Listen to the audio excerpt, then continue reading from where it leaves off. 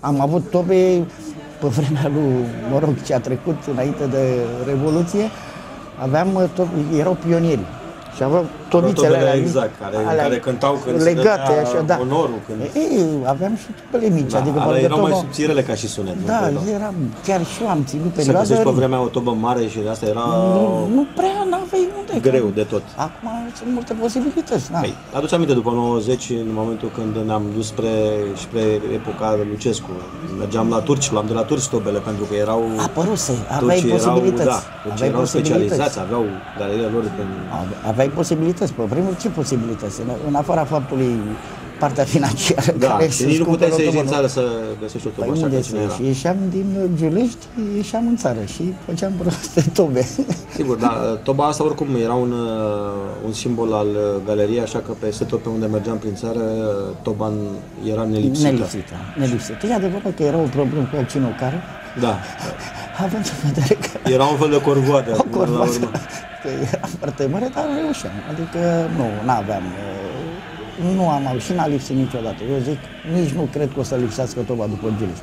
Deja când va lipsi toba, când nu o să mai Înseamnă vedem că se- steaguri, Înseamnă că ceva acela e în va fi neregulă. momentul Sfârșitului. sfârșitului.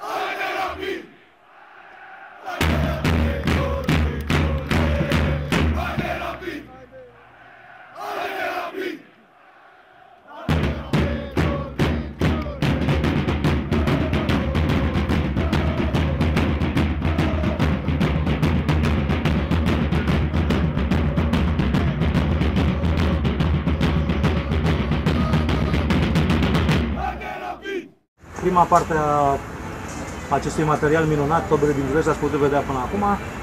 Astăzi o să vedem uh, alte povești minunate despre tobele Giuleștiului și modul în care galeria cântă la fiecare meci. Vedeți aici lângă mine sunt uh, personaje pe care le știți din istoria suporterilor Rapidului. Sunt oameni care au mers uh, etapă de etapă cu Rapidul în deplasări, au mers pe ploaie, au mers pe soare, au mers uh, în orice condiții, acolo unde Rapidul a jucat. Au multe povești, decât să vorbesc, e mai bine să le ascultăm și începem cu Toba din Giulești. Când, când ați văzut prima oară Toba în tribună în Giulești, dacă vă mai aduceți aminte? De când am venit prima dată. Eu Când din era asta, 78. Cerce? În 78. În 1978. În 1978 se juca încă pe Giulești, atunci. Și, și. Și pe Și pe Republicii. Erau meciuri uh, interesante, tribuna plină, atunci în Giulești era tribuna a doua, acolo era galeria, iar în uh, Republicii tribuna întâi, chiar la Uranus, în Cobora era tribuna întâi care era plină de rapidiști. Mai ții minte cine bătea în tobe? Farfui? Nu mai știu pe timpul ăla cine bătea. Tigaie știu, eu pe Tigaie știu cel mai bine care bătea în tobe.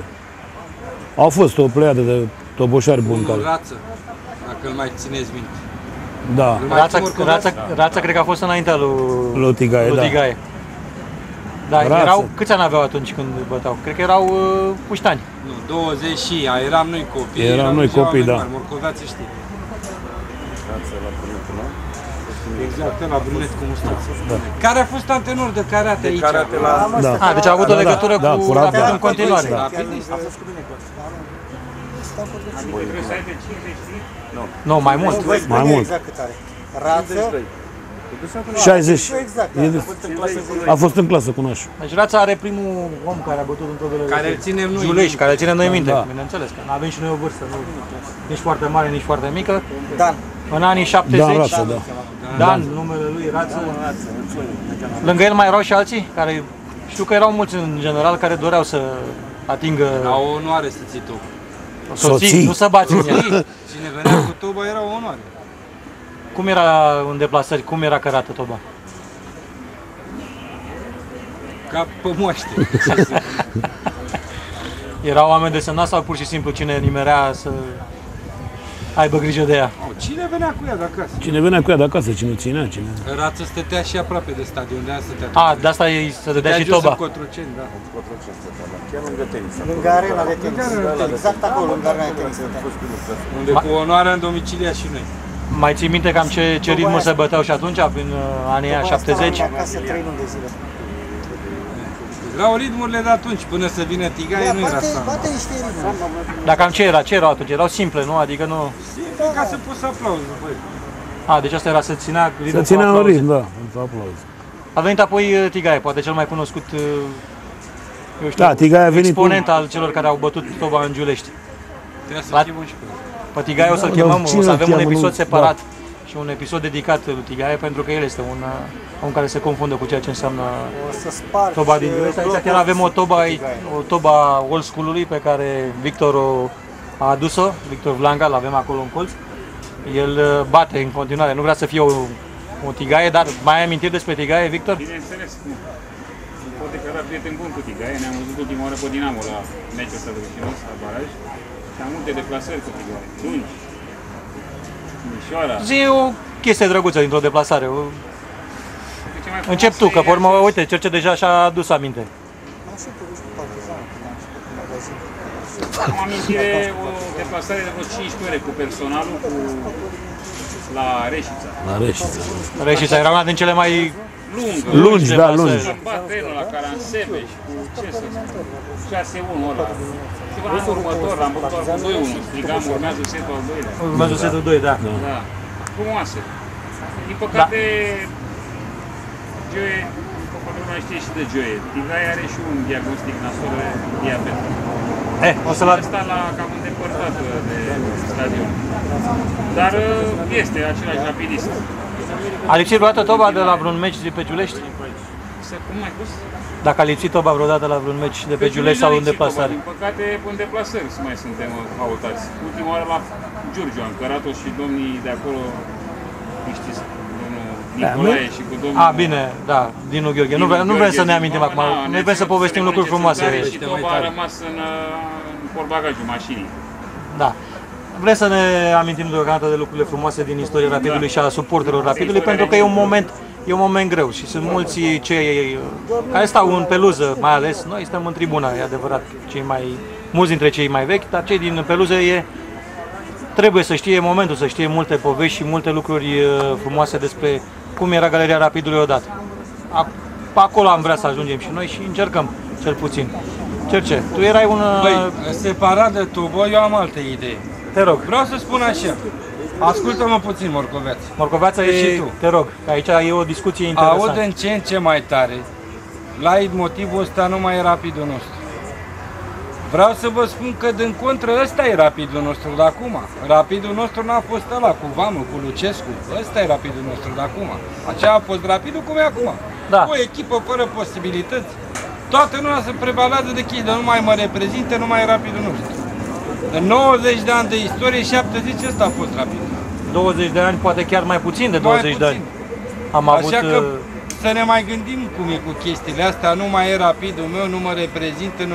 Rapidul, asta e rapid. Dar cum? E adevărat. Aba, amărăciune, nu bani, ăsta a fost rapid. Da. Și dar totuși întot- am iubit echipa asta, nu? Și întotdeauna speranță, că asta a fost mai mereu la noi. Păi cu asta speranță. ne-am alimentat noi, cu speranță. Uite și acum, în situația de, de față, tot sperăm, nu? Sperăm să vină cineva, sperăm să vină vorba aceea, unul pe un cal altul să ne salveze, ca în poveștile frumoase pe care le ascult, ascultam odată.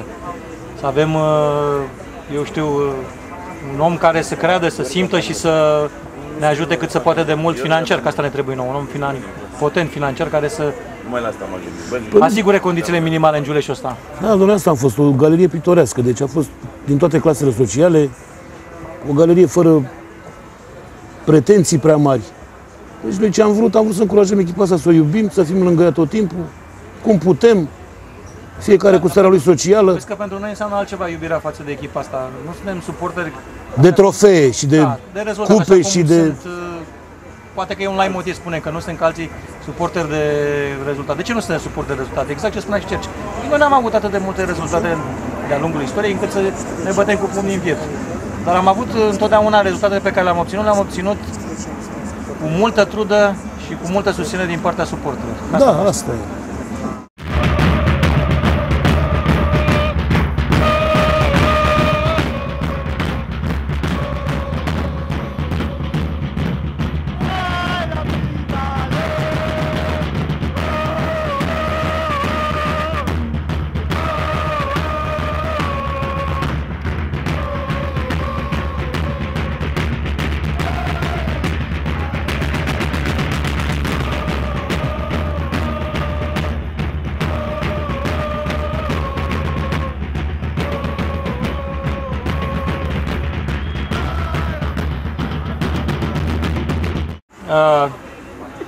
Rapidul a avut întotdeauna o galerie care a cântat acompaniată de un instrument.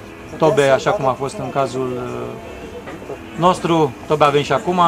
Am avut și tropeta lui Tudorica, o aminteam și în primul episod din uh, acest serial al Tobelor. Cum, uh, cum simțați atunci că presupun că doreați cât mai mult să stați cât aproape, aproape de tobă, să simțiți cât mai uh, mult și cât mai uh, tare ritmurile care semenau cu niște ritmuri a echipelor sud-americane. Cum a spus și Cerci, era o onoare să, măcar să, să ții galeria, să ții toba în galeria Rapidului. Și ușor, ușor, ținând toba, Vrei, nu vrei, dansai cu toba, nu? Cum dansai cu toba, prindeai ritmurile și ajungeai la un moment dat să bați și în tobele după Giulești. era? Cum se făceau uh, cântecele? După ritmurile de tobă sau veneau întâi cântecele și până ritmul de tobă în compania? De regulă, ri- ri- ritmurile erau luate după tobă și se cânta ca să poată, deci bătând toba, un anumit ritm, se făcea și melodia respectivă. Da. Ce, ce-ți plăcea? Care era cel mai drag cântec pe care îl aveai în uh, peluză și îl, uh, în tribună? Ah, de erau fapt? foarte multe, erau alea, samba, Eh, deștigaia, a sunt- sunt unele pe revoluționat, care- sunt a unele care revoluționat nu un le- pic. Nu se mai cântă acum. Era, nu? cum a spus și Morcoveață, partizanul, un băiat care bătea foarte bine la tobe. A murit sărac. Bătea foarte bine la tobe, un toboșar bun. Dar asta, chestia asta, cum să spun, să transmitea sau pur și simplu... Cum cei învățai? care Un veneau ritm care ți intra în înainte sânge. De meci și în pauză și după meci erau copii care veneau și... A, da, și da, da. talentați În sau timpul mai bine pauzei mai băteau copii, mai în deplasări tot așa, mai erau copii care mergeau cu alături de noi și încercau să bată, băteau, prindeau ritmurile.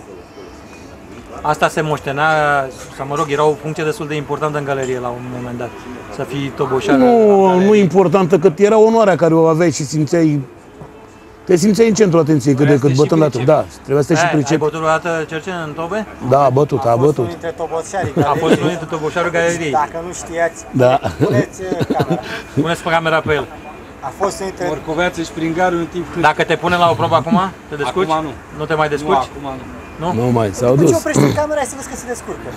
Ba se descurcă, Numai bate, după ce se nu, oprește bate camera, foarte nu? bine. Să-mi iau eu amenda aici. Ce băieți bun sunt. Nu mă, bate foarte bine. Pe mine mă punea să țin top, bat, ține toba și tam tara. Ei mai de dacă nu băți peste mână din greșeală. Dacă țineai degetele Da. deasupra. Am înțeles.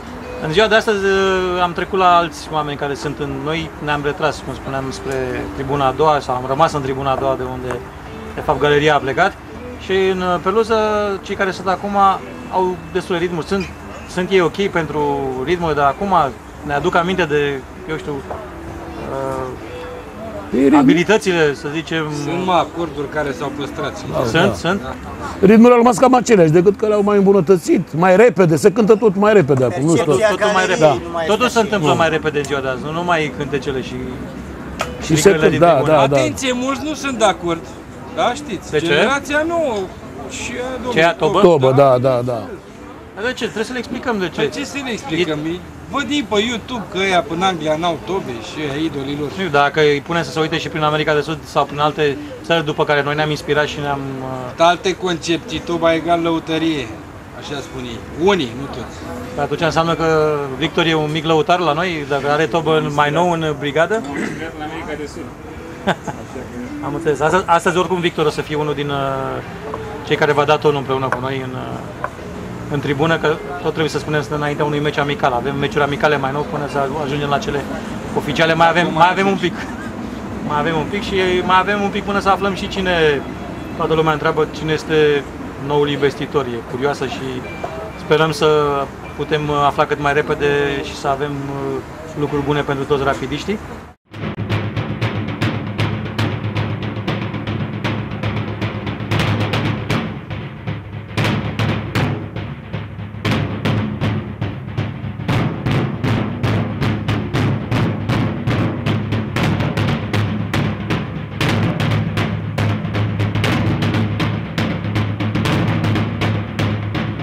Tobele rămân pentru rapidiști, pentru suporterii rapidului un element important în uh, a susține echipa și indiferent de ceea ce cred unii sau alții, așa cum ați auzit și la masă, toba va rămâne întotdeauna în uh, tribuna Giuleștiului, în peluza Giuleștiului, cu cât mai multe, cu atât mai bune. Iar uh, noi cei care suntem aici suntem un, un grup care am văzut mulți de peste 20, unii chiar peste 30 de ani de meciuri ale Rapidului. Vrem să avem și un mesaj pentru cei mai tineri și către cei uh, care ne vor urmări acum, pe mijloace asta de comunicare mai moderne, prin YouTube, uh, Facebook și așa mai departe, alte rețele de socializare. Vrem să le spunem că Rapidul se va baza întotdeauna pe noi. Noi vom susține Rapidul indiferent unde vom juca, pe unde vom fi, indiferent uh, cu cine vom juca. Așa că a fost face bine să ieșiți de pe Facebook și să veniți în tribuna acolo unde ar trebui să vă fie loc. Și cu un mesaj de la fiecare rapidist bătrân de aici, o să-i las la final să încheie ei. Cerce? Ca să fiu în spiritul YouTube, keep the drum. Victor. Am povestit mai devreme că noi suntem ca pe Titanicus. Suntem ultimii care mai cântă, ca celebra orchestră. Noi cântăm pentru rapid. Vom cânta întotdeauna. Farfui? Ce să spun? Să nu se mai ascundă în spatele calculatorului, să vină lângă Rapid. Da. Galeria Rapidului azi prin asta a fost. Da. Iubirea lângă echipă și atașamentul lângă, de lângă echipă. Mai ales. Și acum aveți și personajele din off, vocile din off care noi ați văzut. Înapoi eu. Așa cum bine ai spus, din punctul meu de vedere, vom iubi Rapidul și acum și întotdeauna. Întotdeauna. Pentru că noi iubim Rapidul necondiționat, pentru că noi suntem aici ca să ne at- arătăm atașamentul, dragostea pentru culoile acestei echipe și pentru tot ce există în sufletul fiecărui rapid. Rapid. Din punctul meu de vedere, povestea Tobelor trebuie să continue, poate mult mai abitir decât până acum. Ele ar trebui să devină un simbol al acestei galerii, un simbol, o emblemă a ei.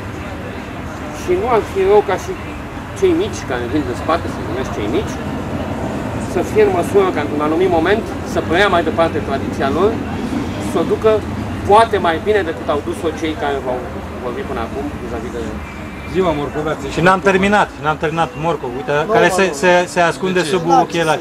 Nu, Nu e problemă. coment. nu, nu coment. Un, N-am trei ce cuvinte pentru final. să- Da, nu am ce să spun, a spus voi destul, gata. Hai rapid, gata. E, e timid. Și E nașule, timid întotdeauna. Cu rapidul până la moarte, să știi. Am născut rapidiști, am mers cu toată țara, cu toată lumea, cu ei. Da. Rapidiști ne naștem, rapidiști suntem în familie, rapidiști transmitem tradiția de la cei mari la cei mici și așa vom rămâne mereu. Deocamdată atât. cu ritmul de pe de samba în suflet, hai rapid. Hai rapid. Hai rapid.